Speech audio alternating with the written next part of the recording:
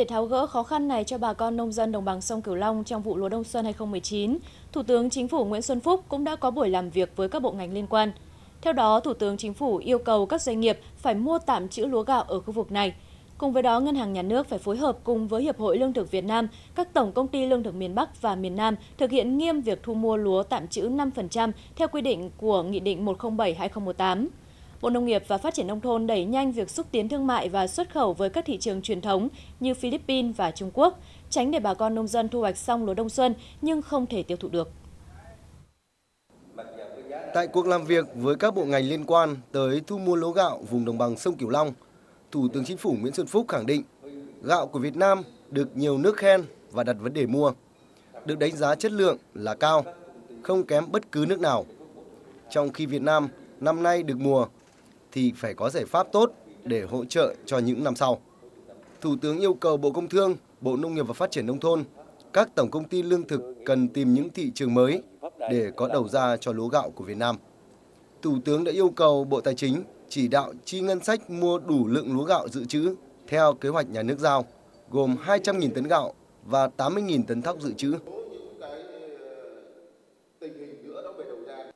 Đối với Bộ Tài chính thì chúng tôi xin kiến nghị mấy vấn đề. Một là đề nghị Thủ tướng ờ, yêu cầu Bộ Tài chính tập trung tổ chức mua ngay 200.000 tấn gạo và 80.000 tấn thóc ờ, dự trữ hàng năm.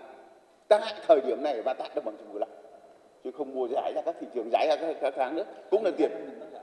Vâng thì mua tại thời điểm này. Mà mua thời thì nợ chính phủ ở chỗ là dễ nhất, được nhiều hàng nhất. Thế mà lại chúng ta đã kích được cầu giải quyết được rất nhiều cái tâm lý ở chỗ này để hiện thực hóa điều này Thủ tướng cũng đề nghị Ngân hàng Nhà nước xem xét tăng hạn mức tín dụng cho các doanh nghiệp đảm bảo vốn mua gạo trong vụ lúa đông xuân năm nay. Ủy ban Quản lý vốn nhà nước và Tổng công ty Lương thực 1, 2 có phương án mua gạo của nông dân sớm nhất.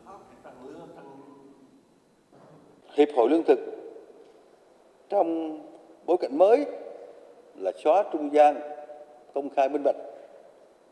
Hiệp hội cần nắm kỹ tình hình, có cơ chế đề xuất báo cáo kịp thời về quản lý với cục cơ quan quản lý nhà nước, trực tiếp từ Bộ Nông nghiệp, Bộ Công Thương và Chính phủ để có giải pháp tránh cái bị động xảy ra. Thủ tướng cũng yêu cầu các doanh nghiệp kinh doanh xuất khẩu gạo phải thường xuyên duy trì mức dự trữ lưu thông tối thiểu tương đương 5% số lượng gạo mà thương nhân đã xuất khẩu trong 6 tháng trước đó. Theo đúng Nghị định 107-2018, sớm thực hiện xuất khẩu 300.000 tấn gạo sang Philippines và Trung Quốc trong dịp này. Với những giải pháp trên, Thủ tướng đã giao Bộ Nông nghiệp và Phát triển Nông thôn ngay trong tuần tới tổ chức cuộc họp tại đồng bằng sông Cửu Long với Ủy ban Nhân dân các tỉnh và các doanh nghiệp cơ quan liên quan để triển khai xử lý vấn đề mua lúa cho nông dân.